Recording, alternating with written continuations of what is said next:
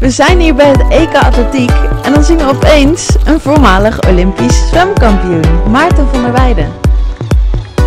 Wat vind je het leukst? Ik vond het uh, leukst dat Martina goud won op de 100 meter, natuurlijk. Dat was een mooi moment, hè? Ja, wie, wie vond het niet leuk? Nu zit het met jou. Krijg je dan ook weer de kriebels als je zo'n vol stadion ziet? Uh, nou, ik vind het wel mooi. Ik vind het wel mooi om te zien dat sport met mensen heel veel kan doen. En, en dat die 20.000 mensen zijn die van het sporten van anderen kunnen genieten. Ja, dat, dat, dat vind ik wel bijzonder. Ja, en als je het zo terugkijkt op je, je zwemcarrière, wat komt er dan in je op? Ja, blijdschap, trots. Uh, enorm prettig dat ik een periode van mijn leven er alles aan gedaan heb. En enorm tevreden dat ik dat heb kunnen doen. En enorm ja, blij dat ik ook dat het allemaal gelukt is. Uh, waar ik enorm hard voor gewerkt heb. Maar ja, ook daar komt, komt echt wel een beetje geluk bij kijken. Waarbij, weet je, als je er alles. Er zijn zoveel sporters die er alles voor doen en het net niet halen. En dan gaan ze zich afvragen: Goh, wat heb, heb je zelf verkeerd gedaan? En ik hoop dat ook die sporters ja, kunnen realiseren dat het ook domme pech kan zijn.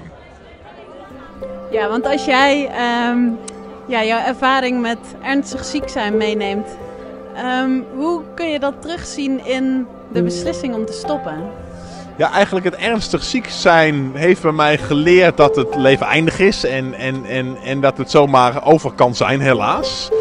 En dat de tijd die we hier hebben, en die moeten we zo optimaal mogelijk besteden. En als je weet dat het eindig is en je maar een beperkte tijd hier hebt. En je voelt je niet helemaal lekker in je vel en je twijfelt over of de dingen die je aan het doen bent eigenlijk wel de beste zijn. Ja, dan kan misschien wel een hele enorme verandering opeens op een plek terechtkomen wat, wat, wat veel fijner is. En eigenlijk door het ziek zijn ben ik wel met dat soort grote keuzes wel veel bewuster uh, omgegaan. En is mijn angst voor grote keuzes wel veel kleiner geworden. Hoe was het moment van stoppen voor jou? Ja, toen was er opeens helemaal geen ritme meer en geen structuur meer. Uh, ik beloofde mezelf, goh, ik vind toch het zwemmen zo leuk. Dat ga ik elke dag nog wel een, uh, een uh, uurtje doen. heb ik drie keer gedaan destijds. En toen vond ik het eigenlijk vreselijk. Vreselijk? Ja, ik kwam er eigenlijk in het, in het zwemmen achter dat het helemaal niet het zwemmen was wat mij zo enorm aantrok. Maar het was veel meer een doel stellen en voor het doel gaan. En mezelf kunnen verbeteren. En toen ik geen doel meer had met het zwemmen, toen was het in een zwembad liggen en heen en weer zwemmen. En dat was al snel stilstaan. En als ik ergens een hekel aan heb, dan is het stilstaan. En hoe is dat nu?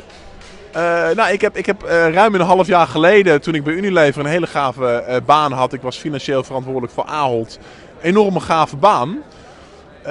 maar dan is het ook goed om te beseffen, maar, goh, maar is dat het nou? En wil je dat dan doen? En ik heb dat hele proces meegemaakt, waarbij mijn Unilever-collega's allemaal zeiden... Ja, maar je gaat hartstikke goed, je carrière verloopt goed. En misschien kun je wel naar het buitenland toe. Wat zou dat mooi zijn? En vanuit hun perceptie zou dat heel mooi zijn. Uh, maar ik heb ook nog een heleboel dingen die ik vanuit de sport kan doen. En ik geef die, die presentaties en ik wil het theater in. En ik heb een, een vrouw en een dochter. En dat is misschien wel veel mooier dan heel hard werken om wasmiddeltjes en schoonmaakspulletjes te, te uh, verkopen.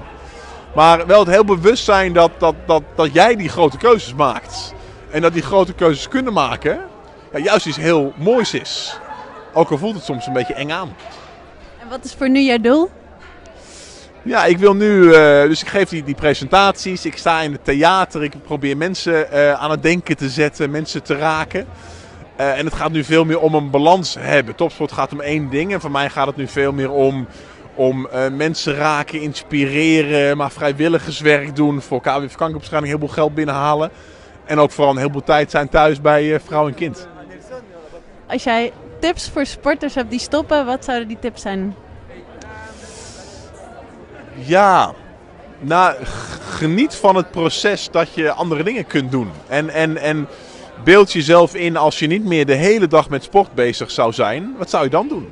En wat vind jij eigenlijk leuk? Waar kom je vandaan? En, en, en, en welke dingen zou je tijd in, in, insteken? En waar ben je benieuwd naar? Uh, en wat zijn jouw, jouw ambities en je wensen en je dromen na de sport? En ik hoop dat er dan hele mooie dingen komen wat, wat het enthousiasme om uh, te verkennen wat jij na de sport gaat doen, een stukje makkelijker maakt.